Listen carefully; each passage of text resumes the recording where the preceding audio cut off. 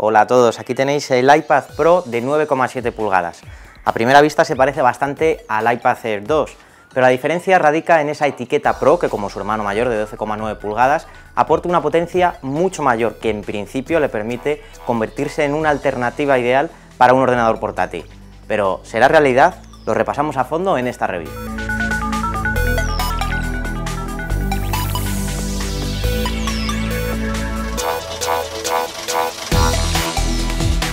Por fuera este iPad de 9,7 pulgadas recuerda y mucho al iPad Air 2, con el que comparte dimensiones hasta el milímetro. Apple apuesta por el continuismo a nivel de diseño en un iPad que nos resulta muy familiar desde el primer minuto. La parte frontal está dominada por la pantalla, el botón de inicio que hace las veces de lector de huellas y la cámara frontal. En los laterales podemos encontrar los controles de volumen, la ranura para la tarjeta nano SIM y el Smart Connector, un conector de tres pines para accesorios externos. La parte trasera está dominada por el logotipo de Apple y esto sí que es una novedad, nos encontramos con una cámara que sobresale ligeramente del cuerpo, aunque esto no hace que la tablet se tambalee al colocarla sobre superficies lisas. En la parte superior tenemos el botón de encendido, el jack de audio y dos de los cuatro altavoces que tiene esta iPad. Los otros dos se encuentran en la parte inferior, dando un excelente resultado como veremos más adelante.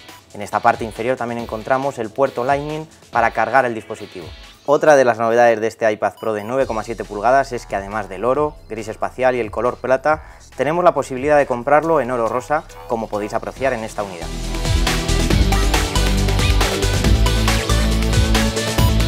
Este iPad Pro dispone de una pantalla retina LED de 9,7 pulgadas con idéntica resolución a la del iPad Air 2, lo que pasa es que incorpora la tecnología True Tone que utiliza sensores de luz ambiental de cuatro canales para ajustar el color y la intensidad de la pantalla a la luz que haya donde estés. Esta opción se puede activar o desactivar a través del menú y resulta muy útil a la hora de utilizar el iPad para la lectura. Es verdad que a veces los matices no saltan a la vista, pero esta nueva opción sirve también para darle un aspecto más natural a la pantalla eliminando su tono azulado. Apple además asegura que este nuevo iPad Pro ofrece hasta un 25% más de saturación que el iPad Air 2 y eso se nota a la hora de reproducir contenidos multimedia en alta definición. La mejora en el nivel de brillo respecto a la generación anterior también es evidente, tanto en interiores como en exteriores, apoyado además en unos buenos ángulos de visión.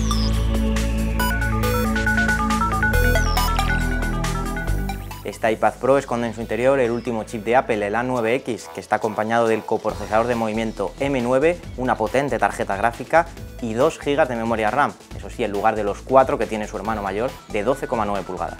La optimización vuelve a ser extraordinaria en este iPad, que mueve sin problemas todo tipo de aplicaciones exigentes y se defiende casi sin parpadear a la hora de ejecutar videojuegos de última generación funciona con iOS 9.3 y dispone de un interesante modo multitarea con el que podrás dividir la pantalla en dos para abrir diferentes aplicaciones. La mala noticia es que no todas son compatibles con esta función. ¿Sirve entonces este iPad para sustituir a un ordenador portátil? A nosotros nos ha parecido, con permiso del iPad Pro de 12,9 pulgadas, la tablet más potente de Apple, pero eso no elimina el hándicap de funcionar bajo un sistema operativo móvil respecto a equipos convertibles o portátiles como por ejemplo el MacBook Pro.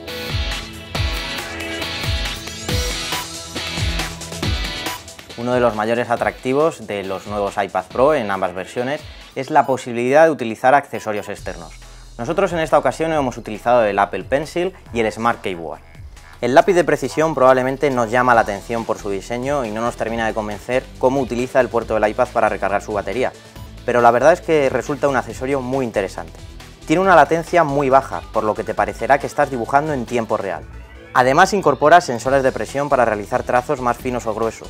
Se puede utilizar con la mano apoyada de la pantalla e incluso se pueden realizar sombreados cambiando el ángulo de escritura.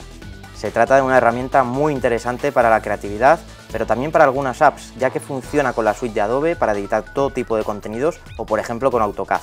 Así que es una manera práctica de sustituir la tableta gráfica. Por otro lado tenemos el Smart Keyboard, un teclado ultra portátil que se conecta mediante imanes a nuestro iPad y que además hace las funciones de funda o soporte de la tablet. El teclado resulta muy fluido, bastante ergonómico y dispone de funciones rápidas para potenciar la productividad.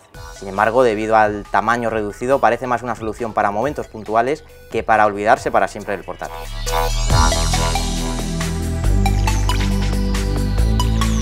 La cámara de este iPad Pro de 9,7 pulgadas es otro de los puntos fuertes, ya que con ella vas a poder hacer fotos casi tan buenas como las de tu smartphone de última generación.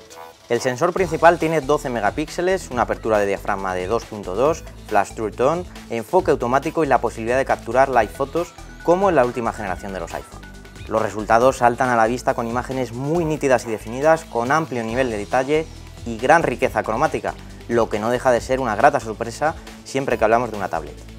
Además, este iPad es capaz de grabar vídeo en 4K, algo que ni siquiera podía hacer el iPad Pro de 12,9 pulgadas, y dispone de estabilizador para que los vídeos salgan lo menos movidos posible. La mejora también es sustanciosa en la cámara frontal, que crece hasta los 5 megapíxeles, con los que te será más fácil realizar videoconferencias o sacarte selfies gracias a su flash.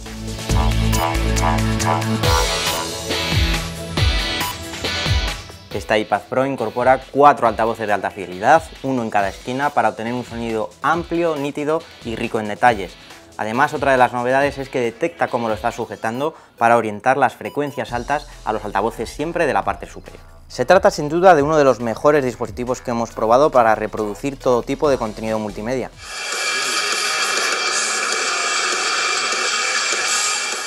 A nivel de conectividad disponemos de dos versiones, una solo con Wi-Fi y otra con 4G, que soporta LTE de 23 bandas y tiene una Apple SIM integrada con la que puedes conectarte a Internet sin comprar una tarjeta prepago en más de 100 países de todo el mundo.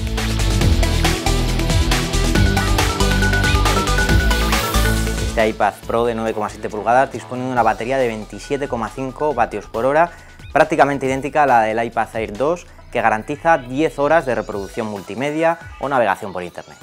La buena noticia es que en condiciones normales el terminal aguanta sin problemas 24 horas sin tener que recargarlo. La mala es que nos encontramos en la gama más alta del mercado y nos gustaría estar hablando de carga rápida.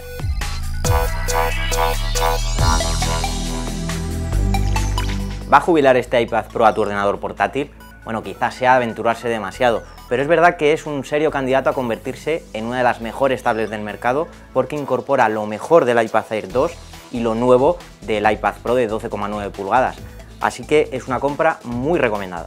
Entre sus ventajas, este iPad Pro va un paso más allá en la cámara o la pantalla respecto a su hermano mayor, aunque eso sí es ligeramente más lento que esa versión de 12,9 pulgadas y en una comparativa frente a un MacBook hoy por hoy sale perdiendo por las limitaciones de funcionar bajo un sistema operativo móvil. Puedes encontrar este iPad Pro de 9,7 pulgadas desde 679 euros en su versión solo Wi-Fi o 829 incluyendo cobertura móvil. Este modelo que nosotros hemos utilizado de 256 GB de memoria y cobertura móvil cuesta 1.189 euros, así que vas a tener que ahorrar si quieres conseguir el mejor iPad de todo el mercado.